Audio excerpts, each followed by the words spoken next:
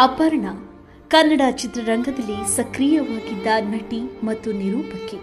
ಸಾವಿರದ ಒಂಬೈನೂರ ಎಂಬತ್ನಾಲ್ಕರಲ್ಲಿ ತೆರೆಕಂಡ ಪುಟ್ಟಣ್ಣ ಕಣಗಲ್ ನಿರ್ದೇಶನದ ಮಸಣದ ಹೂ ಚಿತ್ರದಿಂದ ಬೆಳಕಿಗೆ ಬಂದವರು. ಇವತ್ತಿಗೂ ಕೂಡ ಕನ್ನಡದ ಹಲವಾರು ಕಾರ್ಯಕ್ರಮಗಳಾಗಿರ್ಬೋದು ಅಥವಾ ಸರ್ಕಾರಿ ಕಾರ್ಯಕ್ರಮಗಳಾಗಿರ್ಬೋದು.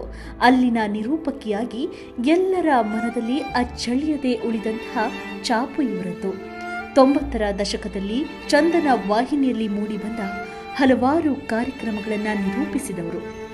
ರೇಡಿಯೋ ಜಾಕಿಯಾಗಿ, ನಿರೂಪಕಿಯಾಗಿ, ನಟಿಯಾಗಿ, ಗಂಡನ ಮುತ್ತಿನ ಮಡದಿಯಾಗಿ ಸಾಕಷ್ಟು ಸಾಧನೆಗಳಲ್ಲಿ ಇವರು ತೊಡಗಿಸಿಕೊಂಡಂತಹವರು.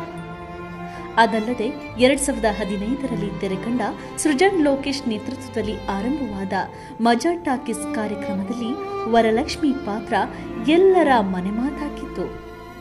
ನಿಜಕ್ಕೂ ಅಪರ್ಣ ಇವತ್ತಿಗೆ ಇಲ್ಲ ಅನ್ನೋದನ್ನ ನೆನೆಸೋದಕ್ಕೂ ಸಾಧ್ಯವಾಗಲ್ಲ.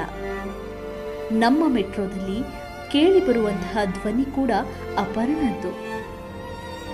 ಯಾವತ್ತಿಗೂ ಎಚ್ಚರವಾಗಿರಿ, ನಿಮ್ಮ ನಿಲ್ದಾಣ ಬಂತು ಅಂತ ಎಲ್ಲರಿಗೂ ಮಾರ್ಗದರ್ಶನ ನೀಡ್ತಾ ಇದ್ದ ಅಪರ್ಣ ಇಂದು ಬಾರದ ಲೋಕಕ್ಕೆ ಪ್ರಯಾಣವನ್ನು ಬೆಳೆಸಿದ್ದಾರೆ.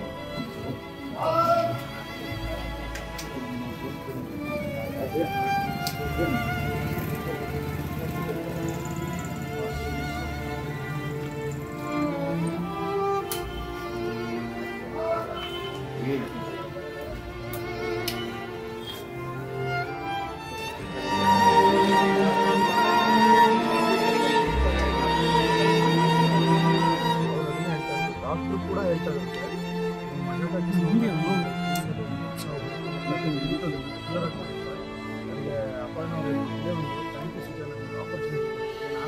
ಮೇಲೆ ಒಂದು ಆಪರ್ಚುನಿಟಿ ಕೊಟ್ಟಿದ್ದು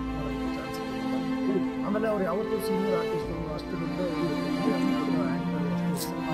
ಆಮೇಲೆ ಇಲ್ಲೇ ನೋಡಿ, ಒಂದು ಸರ್ಕಾರಿ ಕಾರ್ಯಕ್ರಮದಿಂದ ಹಿಡಿದು ಮೆಟ್ರೋವರೆಗೂ ಅಪರ್ಣ ಹಾಗಾಗಿ ಒಂದು ಲಕ್ಷ್ಮೀ ದರ್ಶನ ಶುರುವಾಗಿದ್ದ ಹೊಸ ದಿನಗಳಿಂದನೂ